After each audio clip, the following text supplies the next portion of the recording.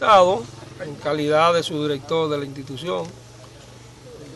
Fuimos invitados por la asociación, los representantes del parcelero del AC 100, el Choco, para ver sus necesidades, pero también viendo otras necesidades de campesinos que tienen problemas. Ahora confirmamos que sí, que no tienen por dónde entrar a sus predios,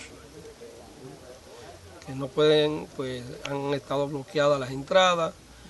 En una próxima visita que será en la próxima semana nosotros veremos ya eso con más detalle.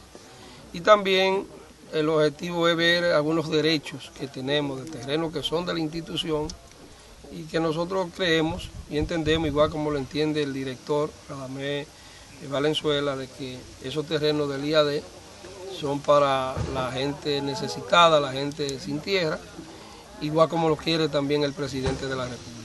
Viendo eso, estamos por acá, acompañados también de dirigentes de, algunas organizaciones amigas, como la FEDELA, pero también de otras eh, autoridades de la, institución. Tenemos el sugerente de la Isabela, el gerente de Mao, y tenemos el subdirector también, aquí andamos con Nicolás Gutiérrez, el ingeniero Nicolás Gutiérrez. Viendo esto y escuchándole también, ya pudimos escuchar, ¿verdad, doña? Sí, sí. pero el miércoles ya, específicamente lo voy a decir, no la próxima semana, el miércoles, vamos ya, al, ya al centro del asentamiento, la C100, el show. El presidente eh, quiere eh, darle